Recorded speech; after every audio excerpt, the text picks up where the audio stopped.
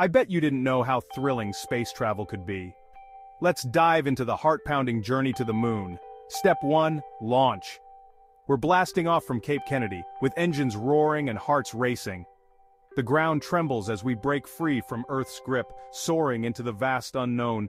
Step 2. Now our spaceship is cruising through the cosmic expanse. Earth shrinks behind us, while the moon grows larger, beckoning us closer with its mysterious allure. Step 3. Touchdown. We make history as our lunar module lands gently on the moon's surface. The dust settles and we set foot on this alien world, feeling the thrill of every small step. Step 4. Deploy the moon rover. Our trusty vehicle rolls out, ready to explore and uncover the moon's secrets. It's a moment of awe and wonder as we push the boundaries of human exploration.